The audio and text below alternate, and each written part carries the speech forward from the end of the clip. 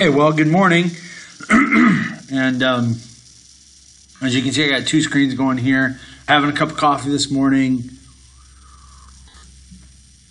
Hope you guys are all doing well. Um, you can see I've already copied down uh, in section 1.3. This is actually number six from last night's assignment, and to give us an idea of what in the world is going on with these transformations and how we can evaluate.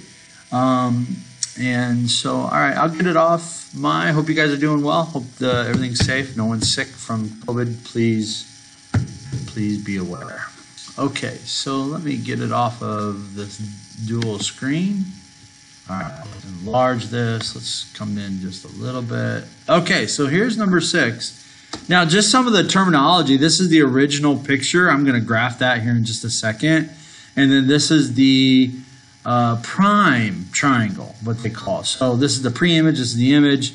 And so this is kind of like J prime, K prime, L prime. That's what the little apostrophe up here means. Okay, so it's it's what it is mapped to or what it becomes. Okay, and so, you know, let's take a look at this on a graph. If we were to coordinate these two pictures on the same graph, I'm just going to do it. I know you've got a graph, which is kind of nice. Actually, they show you the graph, but I'm not showing you that, so I'm going to do it fairly quickly. J is 0, 3, 1, 2, 3. Uh, K is 4, 3, so 1, 2, 3, 4. So it goes straight across. 4, 3, that's K, that's J. 2 is, two, or L is 2, 1, so we'll go there. So, right there. Okay, so L, all right, so now let's, let's uh, map their prime vertices, the ones that they're mapped to. Negative 3, 0. So negative 3, 1, 2, 3. That's J prime. Negative 3, negative 4, 1, 2, 3, 4. Negative 3, negative 4. That's K prime. And then negative 1, negative 2. Okay, so that's L prime.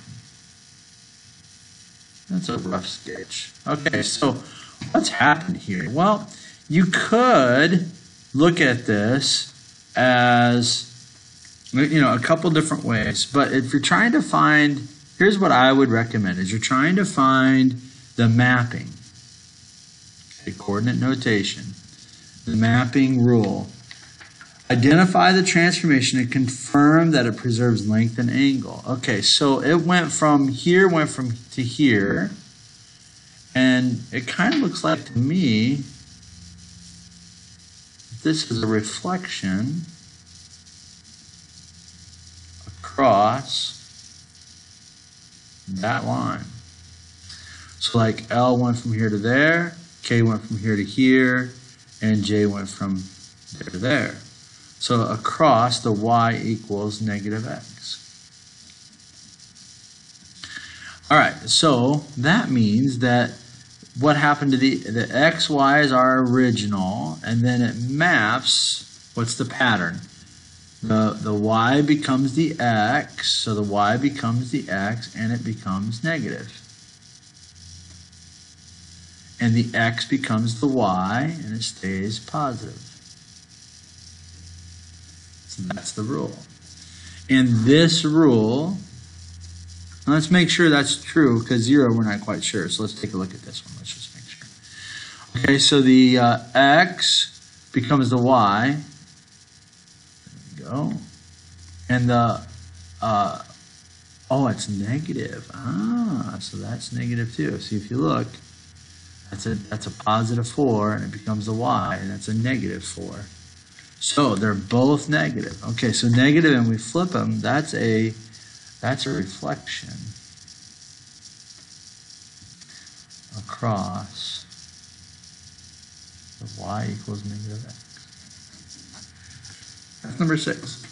Let's take a look at number five. Maybe that's not real, real clear. Let's take a look at number five. Same idea. We've got A, B, and C. We got negative 4. I'm not done with number 6, but I want to look at that a little bit more negative 4 and 4,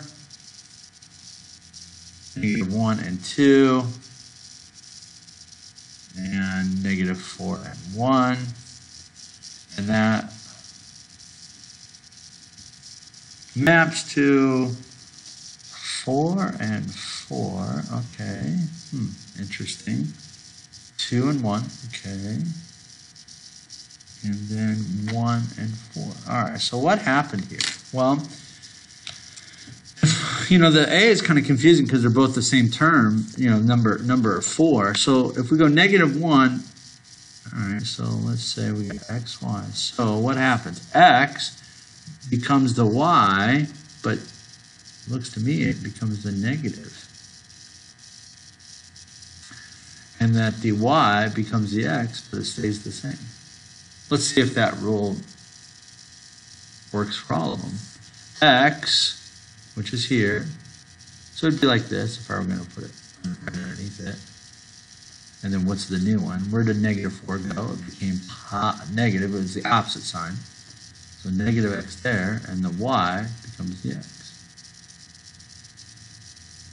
Okay, so yes, that is the mapping. Now, what happens to what? What does this mean? Um, this is a rotation. If you look at the graph, this is a rotation, 90 degrees clockwise.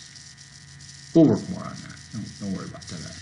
All right. So one of the last things it wanted us to do was confirm it preserves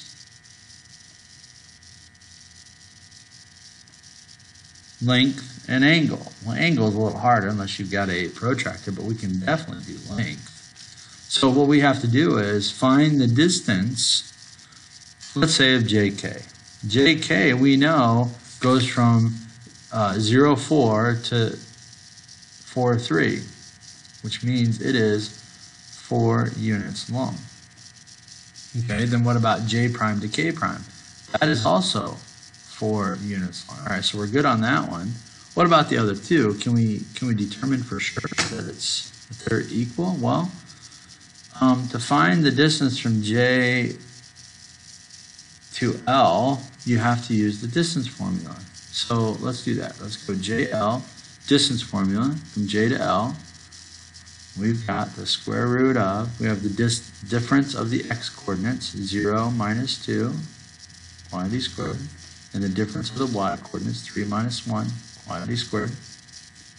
So this is going to be 4 plus 4, or the square root of 8. 2 squared, 2 squared. Okay, so that's JL. Let's see if J prime, L prime works. So now I'm going to go from negative 3 to negative 1. Negative 3 to minus a negative 1. And then I'm going to go from 0 to negative 2. 0 minus a negative 2. Hopefully you guys can see that okay. Yeah, negative 3 minus negative 1 is negative 2 squared, which is 4. 4 plus 4, square root. That's the square root of 8 again. We have it. We have that it preserves length. So once we have shown, shown that two of the sides, the third side has to. Okay, and I'm not worried about the angle measure unless you have a protractor. You can go into your book and do that.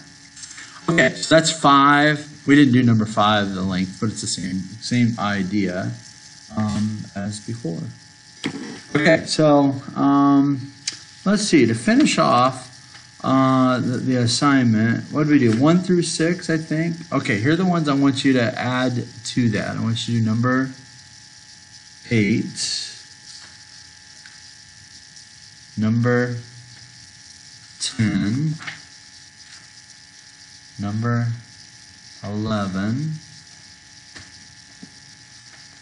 number 14 and 15. That's it. So uh, it's basically the assignment is just an extension of before. So we always start on the first page of the assignment and our label. Make sure you label this, and uh, this this will be that'll be it for um, this section. Now we'll we'll turn this in tomorrow night, Wednesday night. Wednesday at midnight. Wednesday at midnight. Okay. So tomorrow, uh, send me your questions today. Tomorrow, then I'll I'll hit some of the questions that I have if I can't answer them on email. Part of what we do, like this right here, um, we'll hit tomorrow in, in, in our quasi lesson. So, okay, that's it. Let me uh, save this, get it loaded to Canvas, and just reach out to me if you have any questions. Hope you guys are doing well. Take care.